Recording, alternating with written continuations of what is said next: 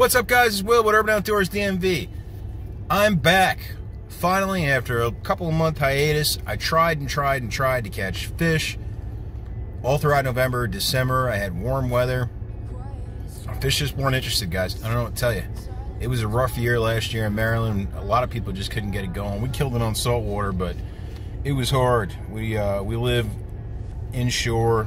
Closest salty water we can get to is really the bay. And after a while, as it gets deeper in the season, it just kind of shuts off.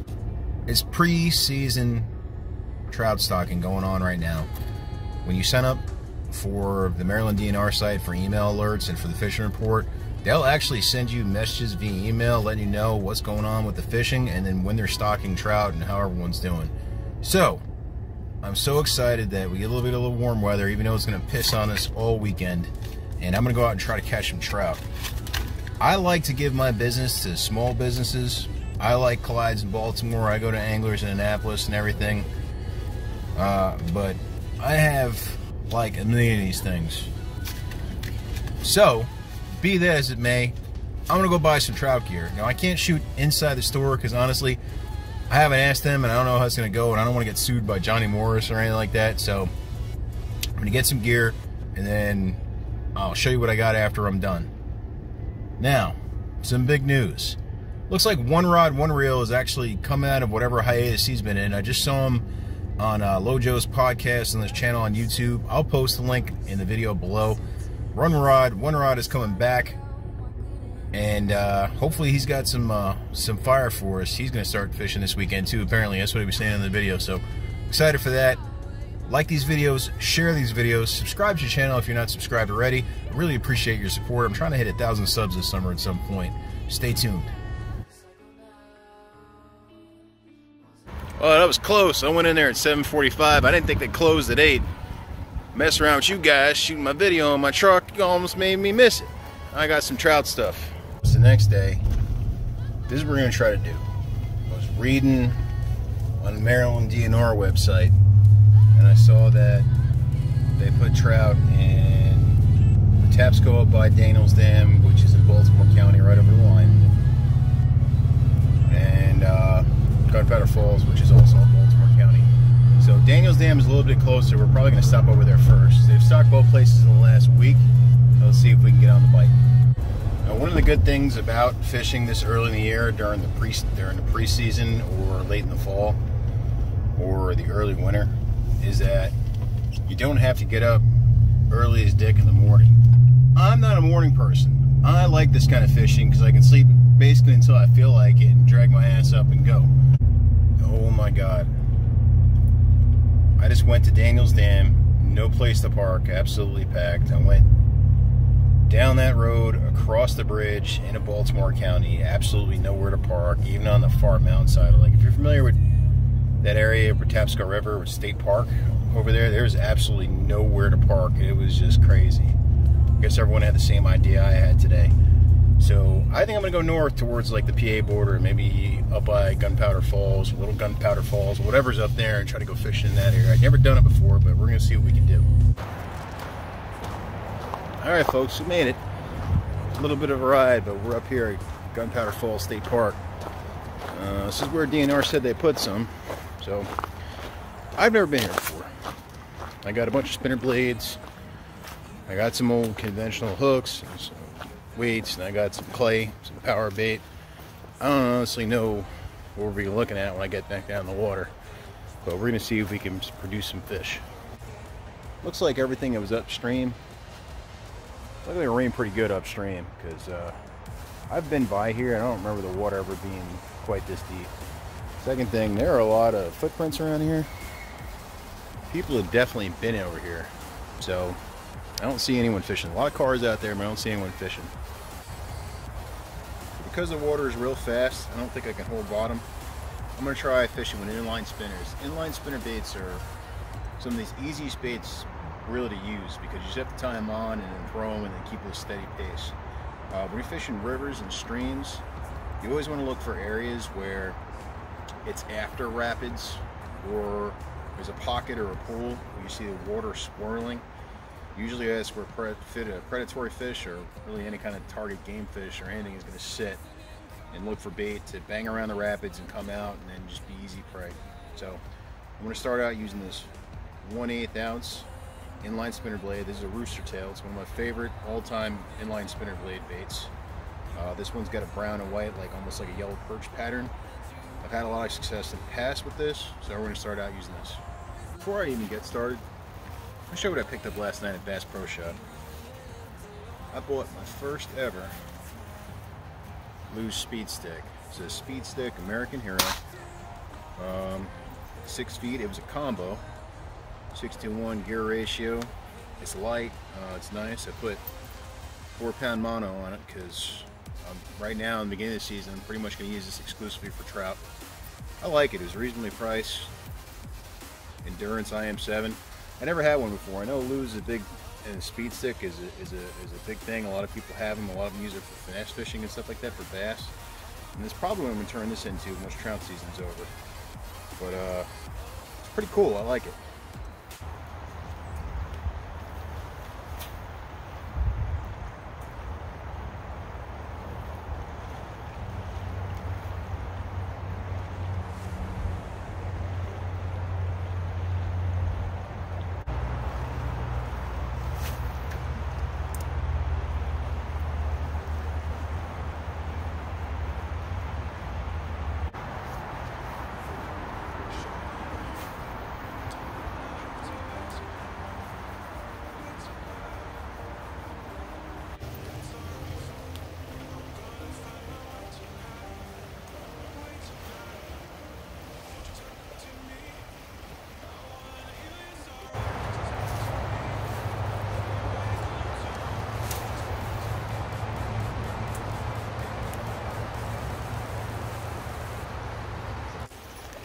Couple of things. I'm switching up the color.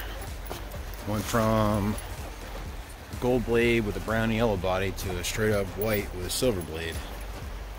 Sometimes that will make fish eat. Here's the other thing about this though. I'm going up to 3 eighths of an ounce. And I got really light line here. So if I'm not really careful, it's a good possibility I could break this off. It makes it easier because it's heavier. So this is not the smartest idea, but I'm already out here.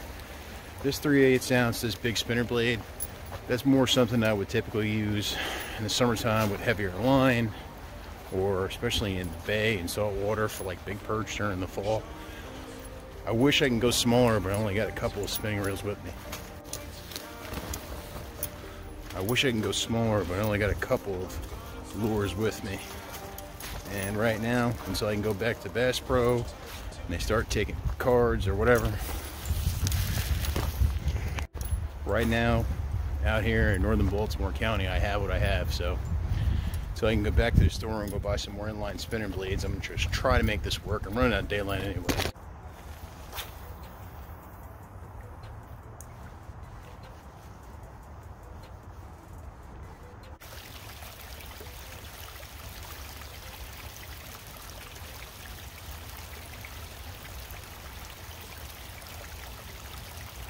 Good news, guys. I ran into Maryland DNR, two of those dudes out here. They weren't even sure if they put trout in this location yet, but they said they go to Harford Road, which is, I don't know, a different crossing of uh, this river. Which, honestly, I didn't even catch the direction that it is or how to get there, but I'll Google it. So we're going to try over there. I just made it over to Harford Road. This looks like the same area I was just fishing in, but supposedly they stocked a bunch of trout in here recently. Oh, losing daylight. We'll see what happens.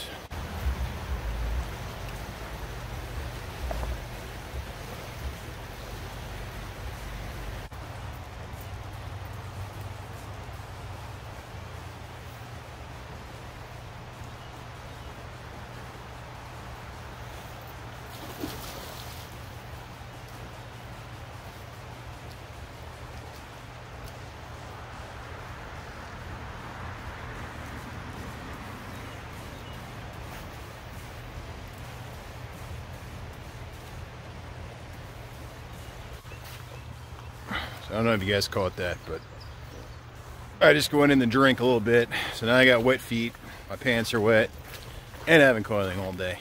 So I'm gonna call it. Hopefully we have better luck tomorrow or a different location. Second day, it's Sunday. Uh, I don't know if you can really tell, but it's, it's raining like a bastard out here. And I figured, who's gonna be dumb enough, other than me, to go out fishing and uh, heavy rain and downpour like that and as cold as it is? And I found out at Daniels Dam, the answer is a lot of people still. So there's a dam, you can kind of see it back there over the waterfall. I'm downstream a little bit because there's just a million people up there. And uh, we're going to see if we can get these fish to eat.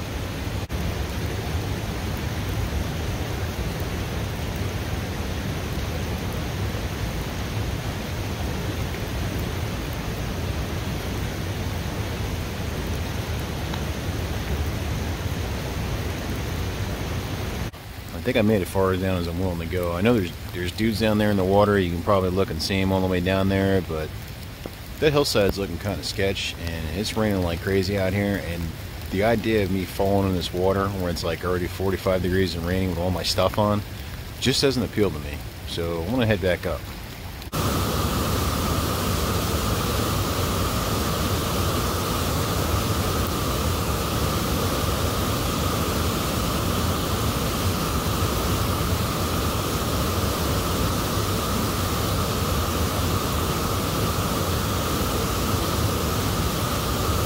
two different rivers. I haven't seen anyone even catch a fish. One guy told me that he heard someone caught a small brown trout. So I'm gonna run over to Bass Pro Shop and replace the inline spinner blades that I lost.